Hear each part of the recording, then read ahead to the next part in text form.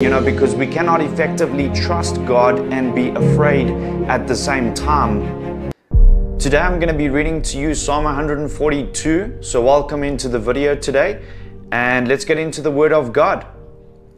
A contemplation of David, a prayer when he was in the cave. I cry out to the Lord with my voice. With my voice to the Lord I make my supplication. I pour out my complaint before him.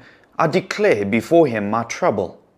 When my spirit was overwhelmed within me, then you knew my path. In the way in which I walk, they have secretly set a snare for me. Look on my right hand and see. For there is no one who acknowledges me. Refuge has failed me. No one cares for my soul. I cried out to you, O Lord. I said, You are my refuge, my portion in the land of the living.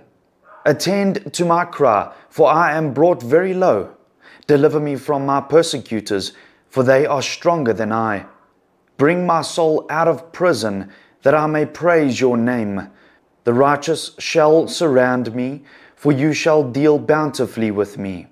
And that is Psalm 142. I can tell you what is sticking out today for me personally is the fact that there are going to be opportunities to prove our trust to God. You can see David is a man who really trusts God when he says, The righteous shall surround me, for you shall deal bountifully with me. And so David is speaking in such a way that he is confident of what's going to happen because of his trust in the Lord.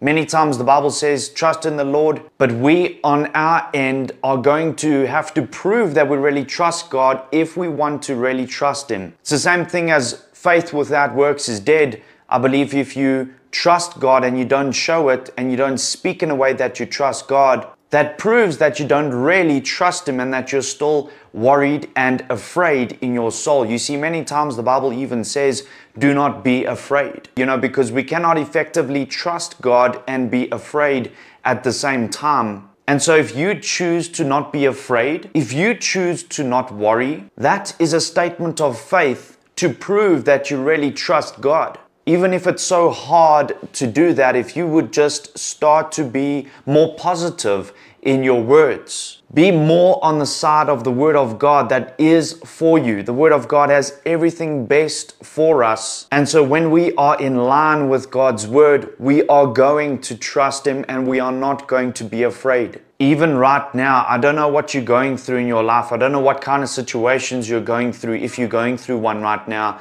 But I want to ask you are you willing to trust God no matter what it seems like in the natural? Because God is the God of the impossible. Nothing is impossible for Him. So why should we worry? Why should we be in fear? Jesus specifically tells us not to worry.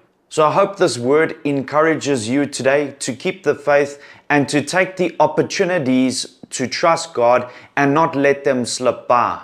Amen. Praise Jesus, guys. Let's close in prayer.